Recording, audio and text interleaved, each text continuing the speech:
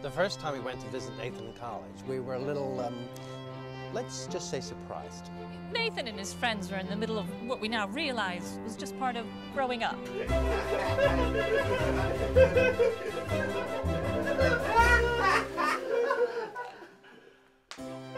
We're not really sure how things like this help his studies, but Nathan certainly seems to think they do.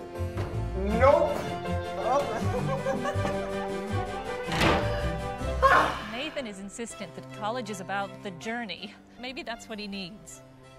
But when I was looking to go back to school, I wanted to learn practical lessons that would actually help me in my career. AIU's business administration programs are accredited by the Accreditation Council for Business Schools and Programs. We like their award-winning virtual campus, where Judy can get her MBA online. Which means I get a quality education that really fits my lifestyle. While Nathan gets one that fits his.